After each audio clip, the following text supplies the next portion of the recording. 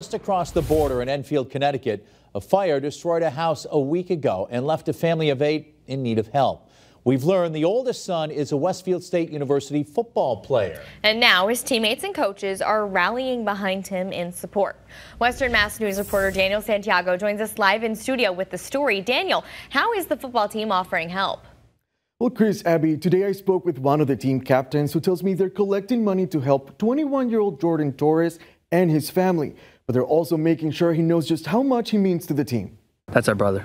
And uh, our brother needed us, and we're here for him. That's Alec Rodriguez, one of the five captains of the Westfield State University football team, speaking to Western Mass News about one of his teammates, Jordan Torres. Torres, his five siblings, and parents are the victims of a fire that engulfed their home just a week ago in Enfield, Connecticut, destroying everything inside. Since then, the Enfield Fire Department has hosted a fundraising to help the family, collecting clothes, furniture, and other essentials. Now, Jordan's teammates at Westfield State are doing what they can to help as well. We try putting our own money, um, donate, even donating some food, you know, some clothes, whatever he needs.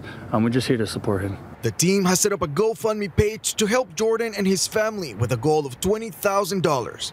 Almost 12,000 has already been raised, an effort that teammate Tommy Bean says is a no-brainer. He's always had this leadership characteristic to him where you could see it just the way he carries himself. So uh, it might be the team's helping him, but I think the fact that he's still supporting us by showing up shows us just how much he cares about this team and that he wants to be part of it.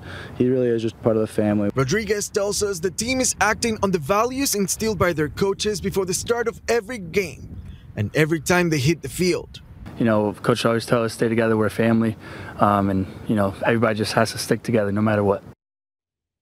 If you want to help Jordan and his family, the GoFundMe link will be available on our website, westernmassnews.com. Just click on the blue as seen on TV button.